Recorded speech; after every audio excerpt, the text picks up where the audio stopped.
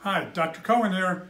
I've gotten a lot of questions recently how to prevent your glasses from fogging up while wearing a mask.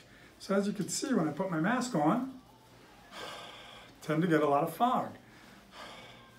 So a couple things you can do. First thing is if you take a tissue and you fold the tissue in half, fold it in half again, you're going to fold it over till it's about the size of the mask. You're going to take the mask, you're going to put that right inside, put it over,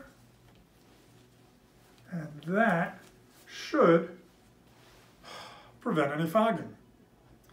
As an alternative to that, you could take a small piece of medical tape, if you have it.